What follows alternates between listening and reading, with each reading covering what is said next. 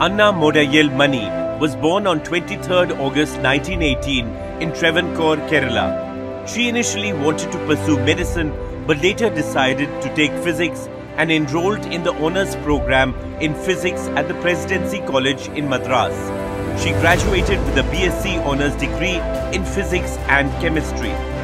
In 1940, Anna Mani obtained a scholarship to do research in physics at the Indian Institute of Science, Bangalore, under the supervision of Nobel laureate Sir C.V. Raman. In Dr. Raman's laboratory, Anna Mani worked on the spectroscopy of diamonds and rubies. The application of fluorescence spectroscopy is a powerful and effective tool to study the physical and chemical behavior of macromolecules. Anna Mani recorded and analyzed fluorescence absorption and Raman spectra including the temperature dependence and polarization effects of over 30 different diamonds. Between 1942 and 1945, she published five papers on luminescence of diamonds and rubies. In August 1945, she submitted her PhD dissertation at Madras University. Though her dissertation involved ample research work, she was refused a PhD as she did not have a master's degree. Undeterred, Anna Mani then moved to Britain to study physics on a government scholarship for an internship in the Imperial College London. Although her preference was to pursue research in physics, she ended up specializing in metrological instrumentation as it was the only scholarship available to her at that time. But it began a lifelong passion and contributed in enriching India's metrological mission.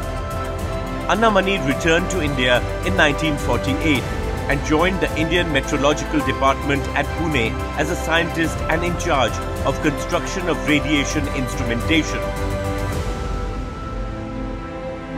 At IMD, she standardized the drawings of about a hundred weather-related instruments for production and also set up monitoring stations across the country to monitor solar radiations to help India harness solar energy. In 1960, Mani continued her work on measuring atmospheric ozone. This was before the world even understood the ozone layer's functions. She designed an instrument called Ozonesonde to measure atmospheric ozone. Anna Mani also set up a meteorological observatory at ISRO's Thumba rocket launching facility in Kerala. Her work on measuring wind speeds in over 700 locations across the country also laid the foundation for India's wind energy dreams. Anna Mani was a remarkable meteorologist and physicist who retired as the Deputy Director General of the Indian Meteorological Department in 1976. She subsequently returned to the Raman Research Institute in Bangalore as a visiting professor for the next three years.